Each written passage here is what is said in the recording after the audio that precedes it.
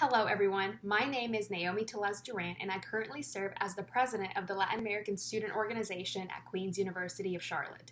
Our purpose is to provide support, awareness, and acceptance of Latin American culture both on and off campus. We want to celebrate our differences and share our experiences with each other while creating fun, educational, and engaging programs. LASO embraces members of all ethnicities and backgrounds and unites them together for a common goal. We strive to build bridges, not walls. Todos son bienvenidos.